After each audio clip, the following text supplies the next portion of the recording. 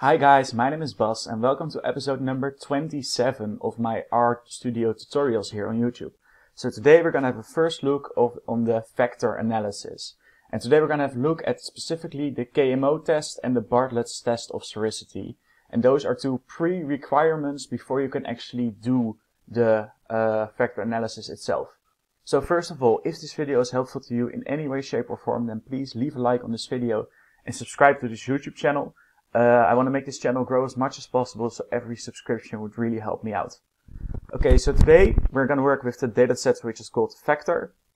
And it consists of uh, multiple external motivation items. For example, uh, the salary is great, there's lots of vacation days, uh, the, uh, I've got fun uh, co-workers, those are external modes of, of motivation. And there are also five internal modes of uh, uh, motivation. So the, uh, that you can develop yourself, that you think it's a that you're doing a useful job, etc. So a factor analysis is basically to what extent R can find underlying dimensions for these items. So if in this case, we hope that R finds two underlying di dimensions, one of them being internal motivation and one of them being external motivation. But before we can do that, actually, that factor analysis, you first got to do the KMO's test, uh, the KMO's test and Bartlett's test of sphericity.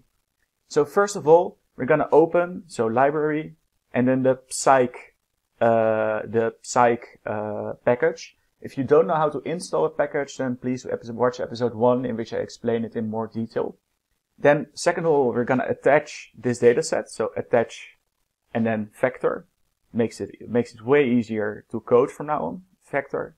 So, so now it is attached.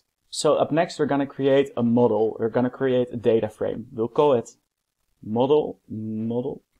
And it's going to consist of data point frame and then of all those 10 items. So external 1, external 2, external 3, external 4, external 5, internal 1, internal 2, internal 3, internal 4, and internal 5. And you create that model. And then we want the KMO, KMO of this model, of this model. And then press Ctrl Enter. And if we then look at the bottom, we can see that the Kaiser-Meyer-Olkin model has an overall level of 0.84. And that's good because it needs to be higher than 0.5 to be average, and it needs to be higher than 0.7 to be good. But what needs to be good? What needs to be higher? Well, the KMO, also known as the Kaiser-Meyer-Olkin factor adequacy, shows to what extent R can actually find those underlying dimensions. So in this case, we hope that it finds two underlying dimensions, uh, being internal motivation and external motivation. Uh, but uh, uh whether uh, R finds those uh, whether R finds those dimensions or not is shown by the KMO value. So it needs to be higher than 0.5 and to be average and be higher than 0.7 to be good.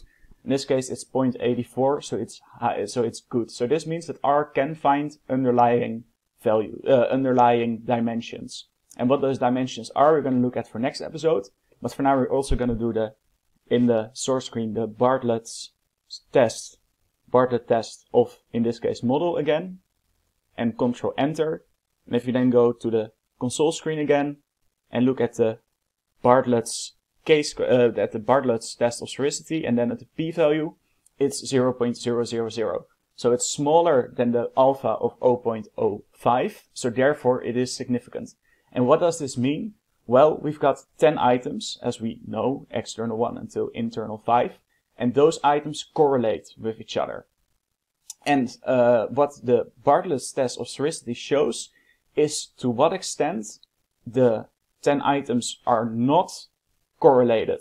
It basically, uh, the uh, null hypothesis so the uh, yeah the null hypothesis states that the items are not correlated and therefore they are an identity matrix. That's the null hypothesis. But you want to reject that null hypothesis. And because it's a significance value below 0.05 it is, so we can reject the null hypothesis. So we can reject that it is an identity matrix and therefore we can conclude that it is a correlation matrix. So the items do correlate, which is important because if none of the items would correlate, then it would be an identity matrix, but we can reject that hypothesis. So this needs to be smaller than 0.05 and in this case it is.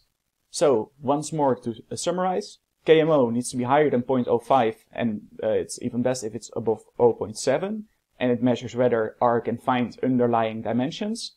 And the Bartlett's test of homogeneity uh, shows uh, to what extent it's an in identity matrix and you want it not to be an identity matrix but a correlation matrix.